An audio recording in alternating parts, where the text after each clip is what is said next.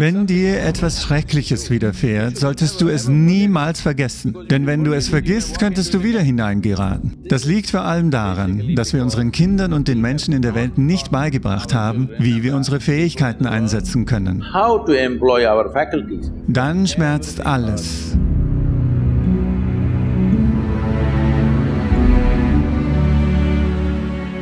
Meine nächste Frage an dich, Sadhguru, lautet, wenn jemand etwas Schlimmes passiert ist und wir wissen, dass es immer auf seinem Gewissen lastet. Sie denken sehr oft darüber nach, aber irgendwann kommt der Punkt, an dem sie bereit sind, es loszulassen. Sie wollen die Vergangenheit nicht loslassen, weil sie sich schuldig fühlen, sie loszulassen. Warum ist das so?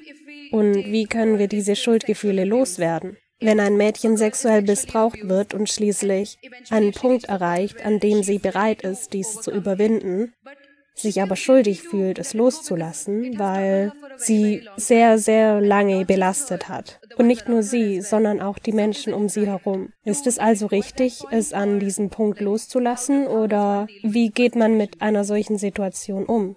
Schau, ich glaube, dieser Konflikt entspringt dem Missverständnis, dass etwas Unangenehmes oder Schreckliches, dem man in seinem Leben begegnet, einfach jedem kann das widerfahren auf so viele verschiedene Arten.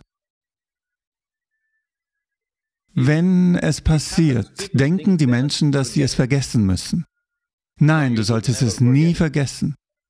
Wenn dir etwas Schreckliches widerfährt, solltest du es niemals vergessen. Denn wenn du es vergisst, könntest du wieder hineingeraten. Aber wir müssen den Unterschied zwischen dem, was Erinnerung ist und dem, was Leben ist, kennen. Du lebst. Die Erinnerung ist eine tote Erinnerung. Du solltest sie als Weisheit nutzen, damit dir solche Dinge in deinem Leben nicht mehr passieren. Aber, aber es ist eine Tatsache, dass die meisten Menschen immer noch unter dem leiden, was vor zehn Jahren passiert ist. Hm? Was auch immer übermorgen passieren mag, erleiden sie bereits. Ja oder nein? Was vor zehn Jahren oder sogar vor zehn Tagen geschehen ist, existiert jetzt nicht. Oder doch? Oder doch? Nein. Was übermorgen passieren kann, existiert jetzt noch nicht. Oder doch? Nein. Du leidest also im Grunde an etwas, das nicht existiert. Wie viele von euch sind Psychologiestudenten? Gibt es einen medizinischen Begriff für diese Menschen, die unter etwas leiden, das nicht existiert? No, no, don't tell them, please, they'll suffer that. Nein, nein, sag es ihnen bitte nicht, sie werden darunter leiden. Wenn du etwas erleidest, das nicht existiert, bedeutet das auf einer gewissen Ebene Wahnsinn, nicht wahr? Das mag für dich jetzt sehr grausam klingen, wenn ich das sage, denn, oh, ich habe meine Schmerzen. Siehst du, du trägst deine Schmerzen wie ein Abzeichen. Tu das nicht. Wenn uns etwas Schlimmes widerfährt, wenn uns etwas verletzt, können wir entweder weise oder verwundet werden. Das ist eine Wahl, die wir haben. Entweder wir werden weise damit oder wir werden verwundet damit.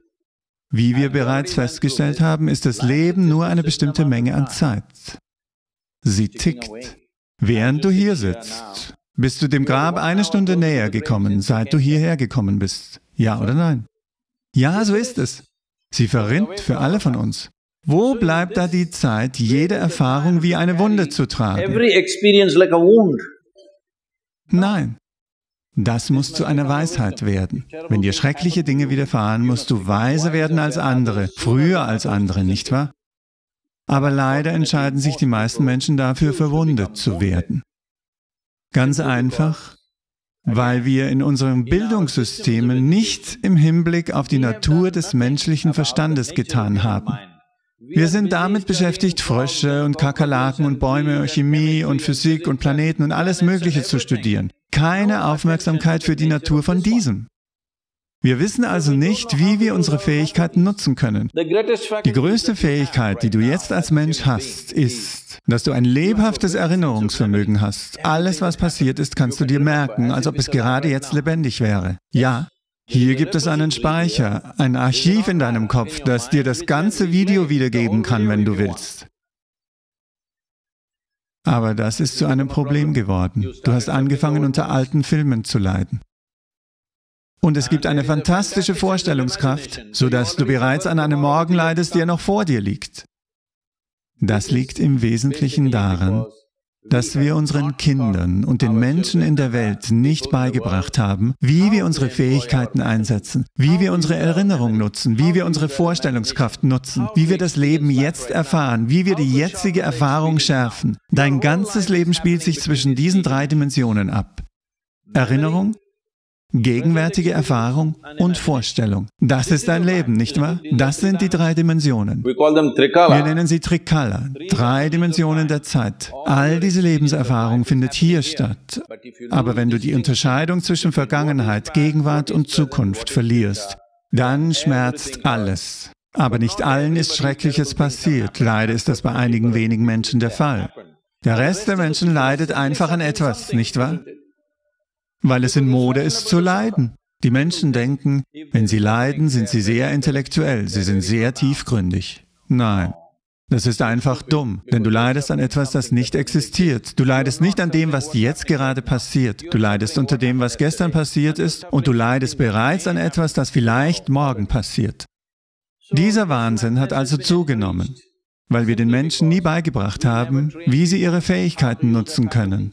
Stimmst du mir zu? Dass diese menschliche Maschine, die du trägst und die ich trage, die höchst entwickelte Maschine auf dem Planeten ist? Hallo? Hast du die Gebrauchsanweisung gelesen? Die Gebrauchsanweisung, hast du sie gelesen? Nein. Wann wirst du sie lesen? Am letzten Tag? Wenn du ein Telefon bekommst, wenn du ein Telefon kaufst, solltest du die Gebrauchsanweisung in den ersten drei Tagen lesen oder erst nach drei Jahren, wenn du das Telefon wegwirfst. So früh wie möglich, nicht wahr? Innerhalb des ersten Tages musst du sie lesen. Nur dann kannst du das Telefon gut benutzen. Das gleiche gilt für das hier. Wenn du die Natur dessen, was es ist, nicht verstehst, wie willst du es dann nutzen? Es verzehrt dich. Deine eigene Intelligenz verzehrt dich. Du kannst es Stress, Angst, Schmerz, Leiden oder was auch immer nennen. Im Grunde genommen hat sich deine Intelligenz gegen dich gewendet. Das ist die ganze Realität. Wenn deine Intelligenz für dich arbeiten und Anweisungen von dir entgegennehmen würde, würdest du dich selbst glückselig halten, nicht wahr? Hallo? Deine Intelligenz hat sich gegen dich gewandt. Warum hat sich deine Intelligenz gegen dich gewandt? Darauf solltest du schauen. Nicht darauf, dass wir diese Dinge, die passiert sind, die nicht hätten passieren dürfen, als Abzeichen in unserem Leben tragen. Das könnte viele Frauen gegen mich aufbringen. Wenn ich gegen euch wäre, wäre ich nicht hier. Ja?